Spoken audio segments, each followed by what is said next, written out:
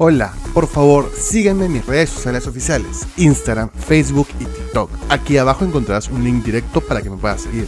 Gracias los autos más baratos de América Latina. Aquí no voy a tomar en cuenta ni la seguridad, ni el diseño, ni el tamaño, ni la versatilidad. Solamente te voy a comentar los autos que se venden a un precio más económico en América Latina. Autos que puedes conseguir desde los 10 mil o 9 mil dólares cuando nuevos, cero kilómetros de agencia, sin importar las crisis, la coyuntura ni nada. Esos autos son ultra baratos, ultra básicos, también en muchos casos ultra inseguros, muy peligrosos, poquísimo recomendables, pero ese no es el tema de este video. El tema este video es mostrarte algunos de los más baratos, no necesariamente porque te lo pienses comprar o porque te lo vayas a comprar por este video, sino solamente te estoy dando alguna referencia interesante para que tengas algún tema de conversación, porque sí, algunos de los autos más baratos vienen de las empresas más reconocidas y que muchas veces nos cobran mucho dinero por sus autos, aquí vas a encontrar algunos ejemplares que son todo lo contrario, la otra cara de la moneda, una celebración de lo básico, lo inseguro, pero además también lo más accesible y lo más barato. Es por esto que a continuación te presento los 6 autos más baratos que se venden en América Latina. Número 6, Hyundai i10. Este auto tiene un precio base de 10.500 dólares y es uno de los autos más decentes, más interesantes, mejores equipados y con mejor diseño de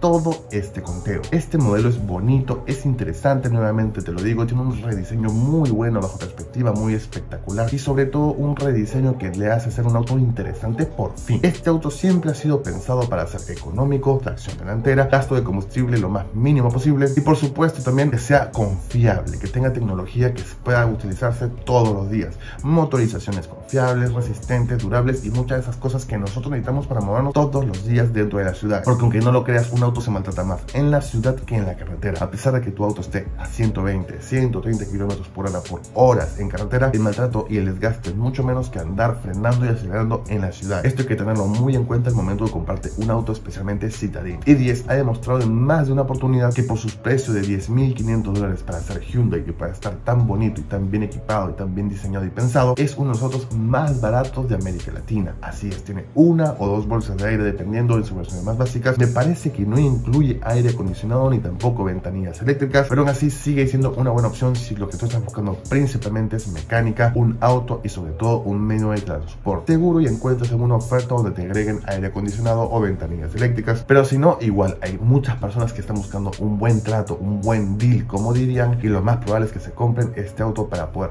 movilizarse todos los días independientemente de su equipamiento, independientemente de su diseño. Aún así, esto es solamente una referencia porque lo más probable es que los autos que veas más arriba todavía sean más, pero más inseguros y poco recomendables. Número 5, Kia Picanto. El Kia Picanto sigue siendo un auto bastante recomendable, pero ya vale 10 mil dólares. El Hyundai i10 valía 10 mil 500 dólares, el Kia Picanto vale 10 mil dólares y vamos a seguir bajando a precios mucho más bajos, mucho menos elevados y por supuesto más peligrosos los autos. El Kia Picanto es un auto bien equipado, bien diseñado, bien bonito y sobre todo bien espacioso, útil, versátil. Este modelo es realmente muy bueno y también me gusta mucho a mí por el tema de que está bien equipado y bien pensado en el tema de diseño, en el tema del equipamiento y sobre todo en la atención al detalle. El Kia Picanto es uno de los autos más y mejor vendidos de Kia y era evidente que iba a tener mucha atención de parte de la marca surcoreana, pero al tema de que vale más o menos 10 mil dólares en su precio básico, lo hace a pesar de todo el esfuerzo y toda esta gran buena atención de parte de Kia. Es el auto, un auto bastante barato, aunque muchos lo digan y digan, hey, no lo vale. Sí lo vale, porque es un auto tanto seguro como versátil. Tiene un motor chiquitito, creo que no sobrepasa ni siquiera los mil centímetros cúbicos, pero que aún así le sirve a miles y miles de personas en América Latina, especialmente aquellos que no tenemos dinero para poder pagar tanta gasolina toda la semana. Podemos pensar en comprarnos un Kia Picanto, que es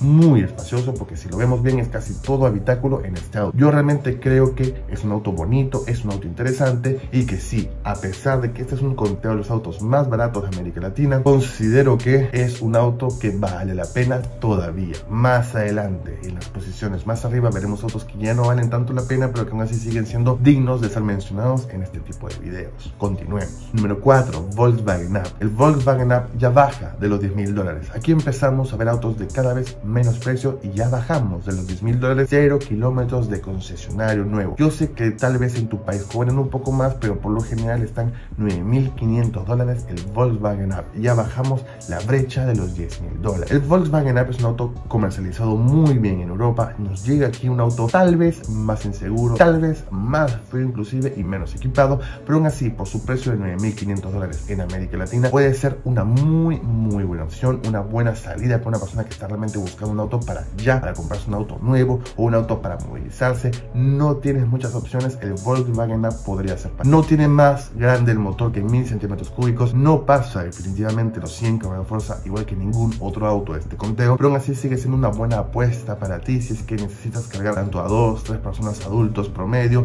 y además con sus maletas puede ser que los hagas caber aquí y si andas solo o con tu pareja todavía mejor. Este es un auto para personas solteras, pensado para estudiantes, pensado para trabajadores que van todos los días solos a trabajar y están buscando un auto tanto citadino como económico. El Volkswagen Up se vuelve una buena opción para ellos y por supuesto uno de los más baratos que se vende en América Latina. Número 3, Suzuki Expresso. El Suzuki Expresso tiene un valor básico de 9 mil dólares en sus versiones menos equipadas, pero es igual el Suzuki Expresso nunca tiene buen equipamiento, nunca tiene buena seguridad, nunca tiene más cosas de tecnología que lo más básico para que un auto funcione. Por lo general, este auto te lo pueden vender con una o dos bolsas de aire. A mi parecer es muy poco, considerando la poca resistencia estructural que tiene este auto, considerando lo poco seguro que es en el tema de que chocas con este auto, lo más probable es que salgas volando y no haya sistema de seguridad que te ayude. Pero aún así es un auto que hay que mencionar en este conteo porque es extremadamente barato, ya estamos llegando casi a menos de 9 mil dólares y es que a mí realmente no me gusta para nada, tiene llantas de motocicleta, siempre digo que nunca te lo debes comprar, pero vale la pena mencionarlo por efectos de este video. Número 2, Suzuki Alto. El Suzuki Alto vale 8.500 dólares en sus mejores momentos cuando nuevo y fue muy bien comercializado, muy bien preferido por muchísimas personas que lo usan hasta el día de hoy. Lo bueno de los autos de este conteo es que por lo general van a ser muy confiables por el tema de que son muy básicos, sin tecnología y sin grandes mantenimientos ni cosas raras que le piden. Así que Suzuki Alto se lleva fácilmente este conteo con un precio básico de 8.500 dólares, muy lejos de los 10.000 dólares que pensamos en algún momento que podría llegar a costar como mínimo un auto nuevo.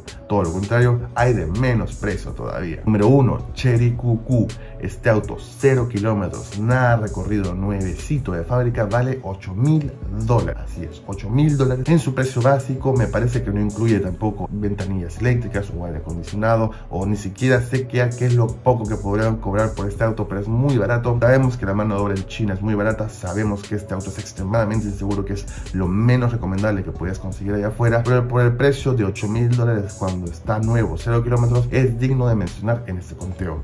Si este video te gustó, por favor regálame un me gusta, también suscríbete a mi canal que me daría muchísimo. Que tengas una muy buena semana, mucha salud y mañana. Chao.